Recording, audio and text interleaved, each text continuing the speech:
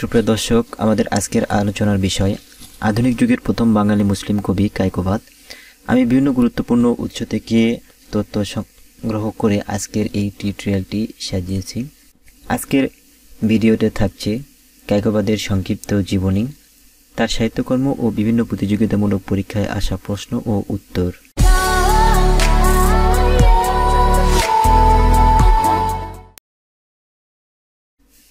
প্রথমেই কায়কোবাদের সংক্ষিপ্ত জীবনী।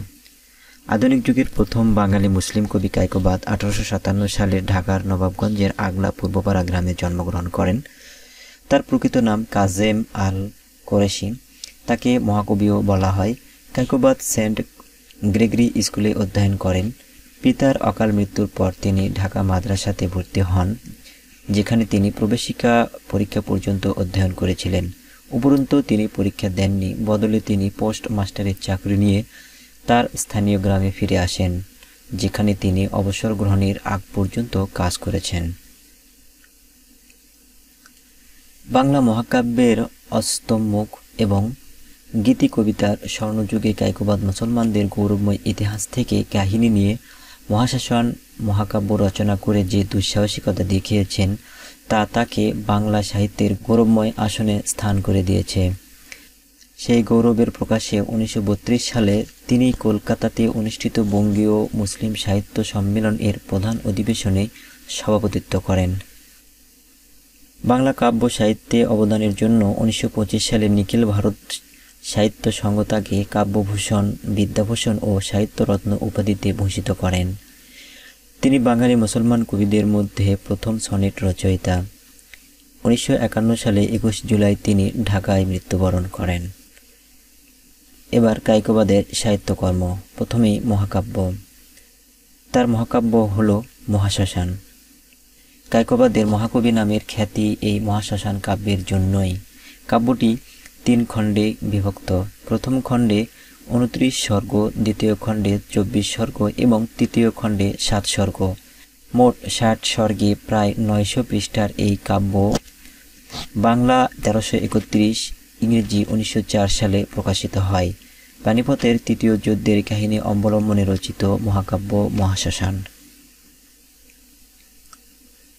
এবার তার লেখা বিভিন্ন কাব্যগ্রন্থ।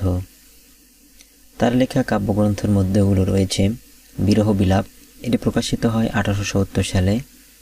কুসুম কানন, অশ্রুমালা, শিব মন্দির মন্দাকিনী ধারা অমীয় ধারা মহরম শরীফ, শ্মশান ভাষ্য, শ্মশান ভাষণ।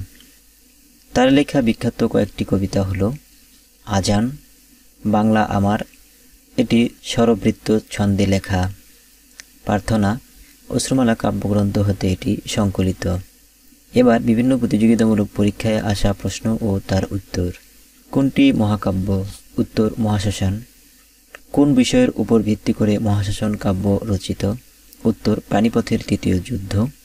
মহাশ্মশান কাব্যগ্রন্থের রচয়িতা কবি কাইকোবাদের আসল নাম কি?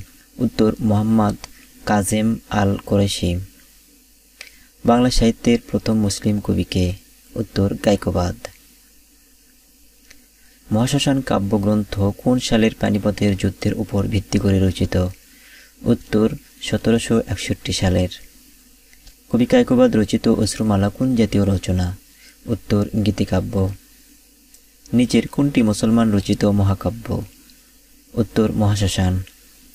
কায়কোবাদের মহাশ্মশান কোন ধরনের রচনা? উত্তর, মহাকাব্য।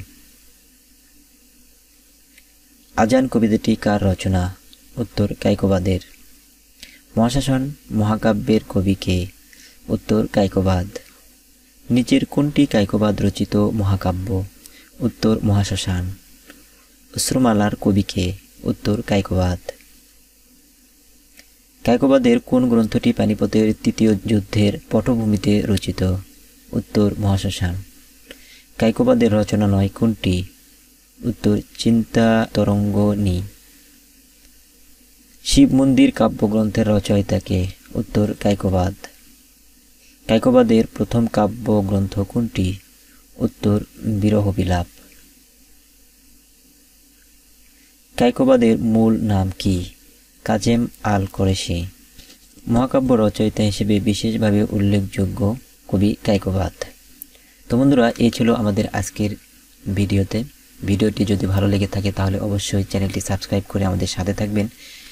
এবং ভিডিওটির ভালো মন্দ দিকগুলো আমাদের কমেন্ট বক্সে জানিয়ে দিবেন যাতে আমরা পরবর্তীতে আরও সুন্দর সুন্দর ভিডিও উপহার দিতে পারি। দেখা হবে পরবর্তী কোনো ভিডিওতে। ততদিন পর্যন্ত ভালো থাকবেন। আল্লাহ হাফেজ।